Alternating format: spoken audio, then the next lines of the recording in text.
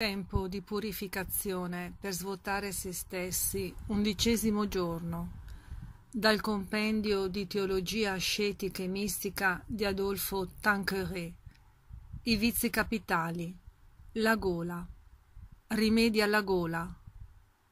Il principio che deve guidarci nella lotta contro la gola è che il piacere non è fine, ma mezzo, onde deve essere subordinato alla retta ragione illuminata dalla fede.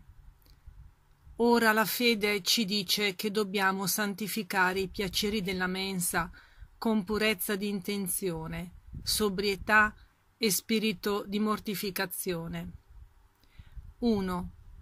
Prima di tutto bisogna cibarsi con intenzione retta e soprannaturale, non come animali che cercano solo il piacere nemmeno come un filosofo che si accontenta di un'intenzione onesta, ma in quanto cristiani che si nutrono per meglio lavorare alla gloria di Dio. 2.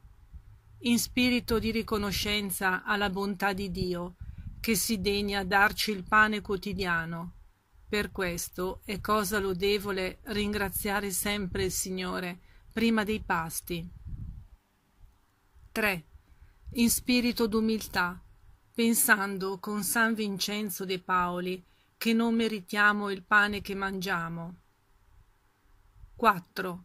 In spirito d'amore, adoperando le forze che ci vengono dal cibo al servizio di Dio e delle anime. Adempiamo così la raccomandazione di San Paolo ai primi cristiani, che in molte comunità viene richiamata al principio dei pasti.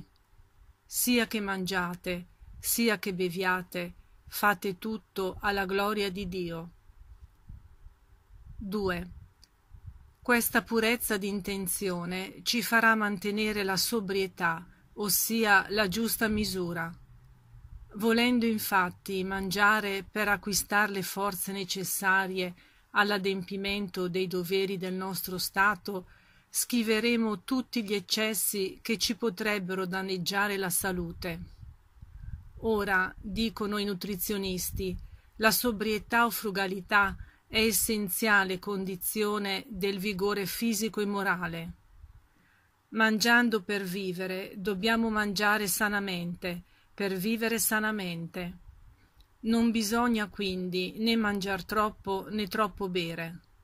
Bisogna levarsi da mensa con sensazione di leggerezza e di vigore, restare con un po' d'appetito e schivare la pesantezza per eccesso di buona tavola. È però bene notare che la misura non è uguale per tutti. Vi sono temperamenti che, ad esempio, per ragioni di salute, esigono più copiosa alimentazione. Altri invece, sempre per ragioni di salute, devono moderare l'appetito. Ognuno quindi s'attenga in questo ai consigli d'un saggio medico. 3. Alla sobrietà il cristiano aggiunge altresì la pratica di qualche mortificazione. Essendo facile sdrucciolare sul pendio e concedere troppo alla sensualità, è bene privarsi talora di qualche alimento che piace, che sarebbe anzi utile, ma non necessario. Si acquista così una certa padronanza sulla sensualità, sottraendole alcune legittime soddisfazioni.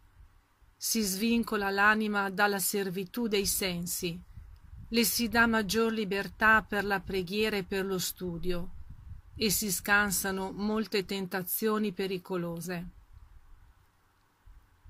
Ottima pratica è l'abituarsi a non prender pasto senza fare qualche mortificazione. Meglio ancora se non lo si fa notare agli altri commensali. Queste piccole privazioni hanno il vantaggio di rinvigorire la volontà senza nuocere alla salute e possono quindi essere complementari per chi lavora alle mortificazioni più importanti, come il digiuno a pane e acqua il mercoledì e il venerdì o altri giorni penitenziali o altre forme di digiuno, che andrebbero sempre fatte con l'accordo del direttore spirituale. Le anime pie vi aggiungono un motivo di carità. Si lascia qualche cosa per i poveri e quindi per Gesù, che vive nella loro persona. Però, come osserva bene San Vincenzo Ferreri, ciò che si lascia non deve essere cosa di rifiuto, ma boccone scelto, sia pur piccolo. Ed è pure buona pratica abituarsi a mangiare un po' di ciò che non piace. Tra le mortificazioni più utili ricordiamo quelle delle bevande alcoliche, Richiamiamo su questo punto alcuni principi. A.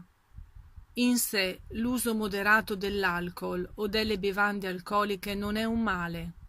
Non si possono quindi biasimare i laici o gli ecclesiastici che ne usano moderatamente. B. Ma l'astenersi per spirito di mortificazione o per dar buon esempio è certo lodevolissima cosa. Quindi certi sacerdoti e certi laici si astengono da ogni liquore per dissuaderne più facilmente gli altri. C. Vi sono casi in cui tale astinenza dall'alcol è moralmente necessaria per scansare eccessi. 1. Quando per una predisposizione ereditaria ci si accorge di avere una propensione alle bevande alcoliche. Anche il semplice uso può allora generare una quasi irresistibile inclinazione, come basta una scintilla per suscitare un incendio in materie infiammabili. 2. Chi avesse avuto la disgrazia di contrarre inveterate abitudini d'alcolismo, il solo rimedio efficace ne sarà allora l'astinenza totale.